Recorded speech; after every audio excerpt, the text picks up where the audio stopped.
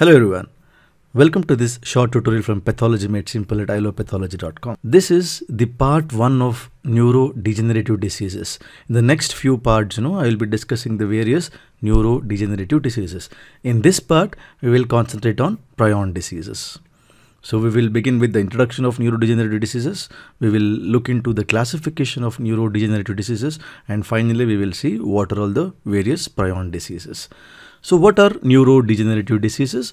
These are the disorders which are characterized by progressive loss of particular groups of neurons you know. And these groups of neurons which often have a shared function. So that's how we define neurodegenerative diseases. Progressive loss of particular groups of neurons which have often shared functions. So the common pathologic process in all the neurodegenerative diseases is accumulation of protein aggregates. And this protein aggregates accumulation is referred to as proteinopathies and this proteinopathy is because of abnormal protein homeostasis. Okay? Now let us understand why the protein gets accumulated in the given cell. See the accumulation of protein aggregates is basically because of mutations or it can be because of environmental or stochastic factors. Now in mutation what happens? The mutations can either alter the protein's conformation or the structure or disrupt the pathways that are involved in either processing or clearance of these proteins.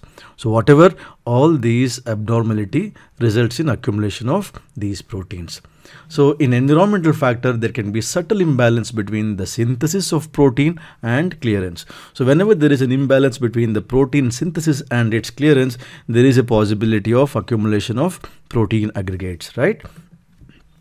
Now once we know that the common feature of all these neurodegenerative diseases are aggregates of proteins.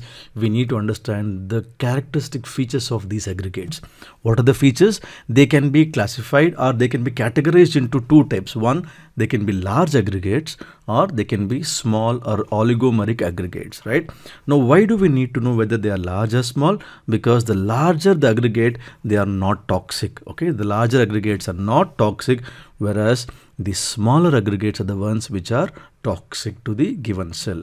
Now another important feature is that these aggregates of proteins are resistant to degeneration okay and they show aberrant localization within the neurons and another important feature is that these can be taken up by other cell and then in that cell it can provoke, ad, provoke additional aggregation.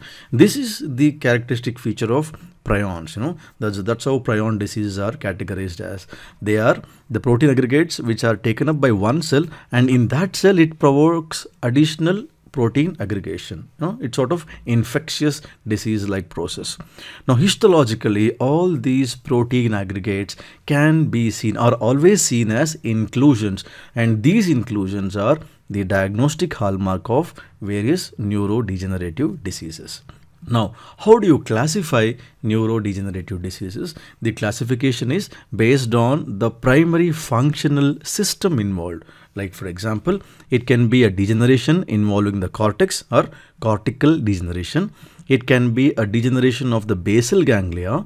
It can be spinocerebellar degeneration or it can involve just the motor neuron. Okay. So the degeneration involving just the motor neurons. The cortical degeneration, basal ganglia degeneration, spinocerebellar degeneration and motor neuron degeneration. So the cortical neurodegeneration usually or most of the times manifest as dementia. The common example of the cortical degeneration diseases include Alzheimer's disease, Pick disease and Lewy body dementia. So the basal ganglia degeneration results in or the manifest as movement disorders and these movement disorders can further be categorized or categorized into whether they are the bradykinetic type of movements or hyperkinetic type of movements. The bradykinetic movements means the movement is very sluggish. For example, the most common example of bradykinetic movement disorder is the Parkinson disease. Whereas the hyperkinetic disorder involves abnormal no hyperkinetic movement, the example being Huntington disease, which has chorea or choreoathetosis. Now moving on to the spinocerebellar degeneration, it manifest as ataxia and the common example of such degeneration, degenerative diseases are Friedreich ataxia. The examples of motor neuron disease where it manifests as upper and lower motor neuron weakness. Examples being amyotrophic lateral sclerosis and spinal muscular atrophy. So this is how we classify neurodegenerative diseases. Remember classification is based on the primary functional system whether it is cortical, whether it is basal ganglia or spinocerebellar or just the motor neuron. Okay? So we can it is also classified based on the symptomatology involved. Dementia is due to cortical degeneration movement disorders due to basal ganglia ataxia due to spinocerebellar degeneration and similarly upper and mot lower motor neuron weakness in motor neuron degeneration. Now apart from these neurodegenerative diseases, there is one important neurodegenerative disease which is a transmissible one and that is known as prion disease. So now we will discuss what is this prion disease. Prion disease is a disease which is clinically manifested as a rapidly progressive neurodegenerative disorder okay and the most important reason is it is caused by aggregation of aggregation and intercellular spread. I talked about intercellular spread, right? See, these abnormal proteins are taken up by one cell and within this cell, it promotes further aggregation. So that is what we mean by intercellular spread. So aggregation and intercellular spread of a misfolded protein and this misfolded prion protein is referred to as PRP. Okay, now another, I mean, the characteristic histological feature of the prion disease is spongiform change in these tissues. Okay, there is vacuolization of the neurons involved. The prion disease are further categorized or classified into these are uh, whether they are sporadic or familial or transmitted ones. Now, the pathogenesis of prion disease. Now, before we understand the pathogenesis, let us see what is what are these prion proteins. See, the normal prion protein See this PRPC, uh, C stands for cellular. This is a normal cellular prion protein which is a alpha helix containing isoform. Okay, this this is a alpha helix. So the one in the bluish green is a alpha helix and the one is a red the one in red is a beta pleated sheet. Remember beta pleated sheet in the normal cellular isoform is less than 5% okay? So the predominant component here is the alpha helix form. This is a normal one and these prion protein the cellular form of prion protein is sensitive to digestion with proteinase k. That's important feature now what happens because of some conformational change this form gets converted to an abnormal form which stands for PRPSC, SC for scrapie. Okay, this is a scrapie form of prion protein which has the predominant form here is, look at this, the predominant ones are the beta pleated sheet isoform. This is the one which is abnormal form. Characteristic feature of this abnormal form of protein is they are resistant to digestion with proteinase K. Okay? Now we know the normal cellular form of prion protein gets converted to a or gets conform because of some conformational change they get converted to an abnormal beta pleated isoform okay. Now big i told you conformational change resulting in the normal form to an abnormal form. Now what happens when these abnormal forms aggregates? So aggregation or accumulation of these abnormal forms results in the vacuolization of cytoplasm. Okay. How the vacuoles are formed is actually not known but what is known is they form lots and lots of cytoplasmic vacuoles in the neurons resulting in death of these neurons okay. Now we know that there is a conformational change which results in the norm which results in normal to an abnormal form. Now, what are the causes of this conformational change? See, this conformational change can be spontaneous. Okay. It can form at the low rate. Okay. Spontaneous and low rate. The common example of this disease is the sporadic cases of Creutzfeldt-Jakob disease so the mutations in the PRPC gene, okay, there is high rate of conversion of PRPC into PRPSC and the examples involving mutations are the familial forms of Creutzfeldt-Jakob disease, Gerstmann-Straussler-Scheinker syndrome and fatal familial insomnia. Now let us see what is this Creutzfeldt-Jakob disease. So this is the most common prion disease, clinically characterized by rapidly progressive dementia and it has peak incidence in the seventh decade of life. It is also shown that this can be transmitted iatrogenically, for example, during corneal or dural transplantation. It can be you know, transmitted via deep implantation of electrodes in the brain or by administration of contaminated preparations of cadaveric human growth hormone.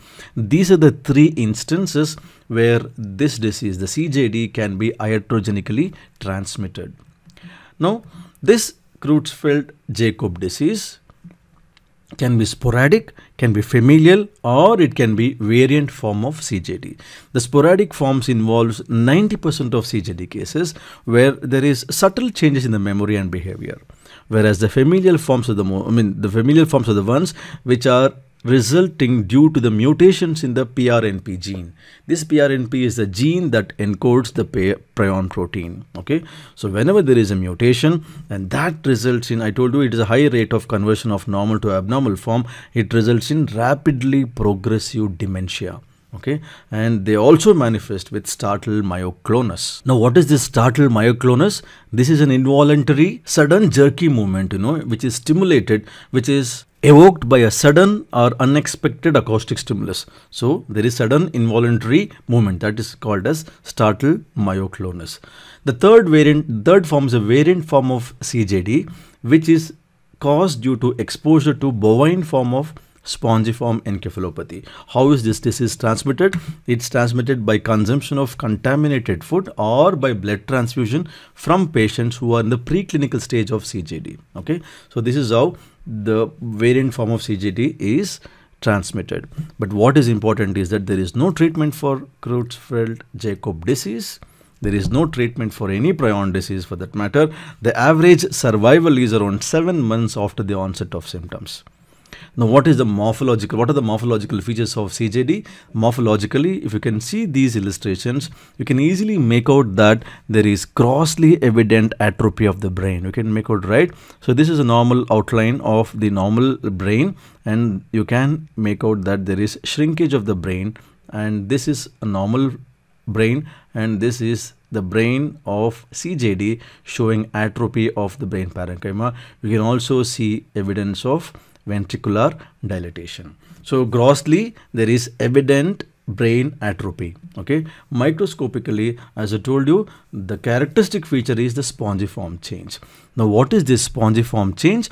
This spongiform change you find empty vacuoles of varying sizes. You can make out these vacuoles of varying sizes right? And these vacuoles are often located within the neuropil within the cytoplasm within the neuropil or in the perikaryon okay? It can be within the neuron it can be in the uh, you know axons it can be in the dendrites or in the neuropil or it can be seen in the perikaryon now, ultrastructurally, it is found that these vacuoles are actually membrane-bound vacuoles right? It is limited by membrane.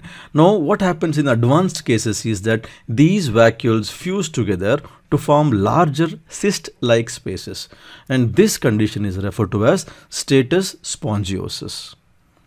now, the abnormal prion protein PRPSC can also be seen as extracellular aggregates, okay, usually in the cerebellum. And these extracellular aggregates of abnormal PRP, they are called as Kuru plaques. How do you demonstrate these Kuru plaques?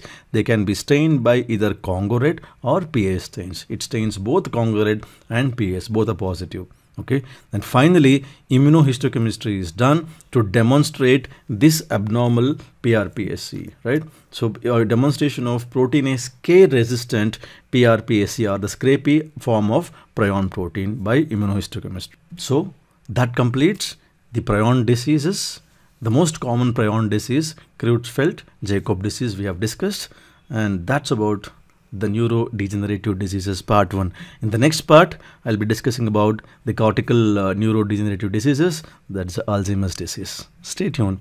If you have liked this video please hit the like button do comment don't forget to subscribe and please do share if you find this video useful. Thank you